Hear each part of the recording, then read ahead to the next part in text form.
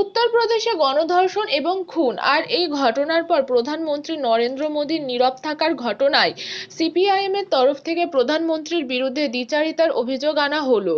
আর এই অভিযোগের ভিত্তিতে মঙ্গলবার সিপিআইএম কর্মীরা সিউড়ি শহর জুড়ে বিক্ষোভ মিছিল করেন। এই বিক্ষোভ মিছিলে বাম কর্মীদের সাথে যৌথভাবে সামিল হন কংগ্রেস কর্মী সমর্থকরাও। কেন? গত কয়েকদিন আগেই আপনারা শুনেছেন, গত চোদ্দ সেপ্টেম্বর উত্তরপ্রদেশের হাত রসে একজন দলিত শ্রেণির যুবতী উনিশ বছরের তাকে উচ্চ বর্ণের চারজনে ধর্ষণ করেছে, তাকে ভয়ঙ্করভাবে আহত করেছে, তার জীব কেটে নিয়েছে। পনেরো দিন ধরে তিনি হাসপাতালে ভর্তি ছিলেন। সে হাসপাতালে সে জানিয়েছেও তাকে ধর্ষণ করা হয়েছে। উনত্রিশে সেপ্টেম্বর সে মারা গিয়েছে।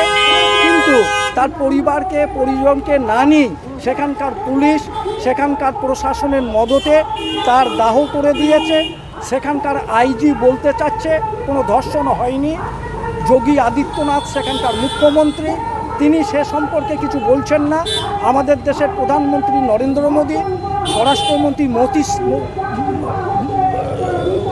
তারাও কোনো রকম ধরনের আপনার মুখ খুলছেন না। এইরকম ধরনের একটা নৃশংস ঘটনার প্রতিবাদে আমরা বাম কংগ্রেস মিলিতভাবে আজকে জেলার সর্বত্র এবং রাজ্যের সর্বত্র তার প্রতিবাদ, বিক্ষোভ, মিছিল করছি। এবং সাথে সাথে দেখছি যে আমরা বাম কংগ্রেসই শুধু না, তৃণমূল কংগ্রেস এবং আমাদের রাজ্যের মুখ্যমন্ত্রীও এর প্রতিবাদ করছেন। তার কোনো রকম ধরনের অধিকার আছে কি না এরকম প্রতিবাদের আমরা জানি না। কারণ হচ্ছে এরকম ধরনের ধর্ষণের ঘটনা খুনের ঘটনা আমাদের রাজ্যে আমাদের জেলায় ভয়ঙ্করভাবে ঘটেছে। সেখানে আমাদের রাজ্যের মুখ্যমন্ত্রী নীরব থাকছেন। কি এই যে আমাদের জেলাতেও উনিশে সেপ্টেম্বর মুরার ওই এক নম্বর ব্লকে নৃশংসভাবে একজনকে ধর্ষণ করা হয়েছে এবং সে লজ্জায় বিষ খেয়ে মারা গিয়েছে। তারও কোনো রকম ধরনের উদ্যোগ নেয়নি। এই সবের প্রতিবাদী আমরা আজকে পথে নেমেছি এবং এর আপনার বিহিত ব্যবস্থা আমরা চাইছি। দীপঙ্কর চক্রবর্তী ভারতের কমিউনিস্ট পার্টি মার্কসবাদী বীরভূম জেলা কমিটির সম্পাদক।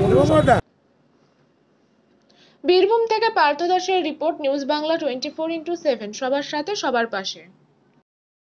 It's caught in the crossfire.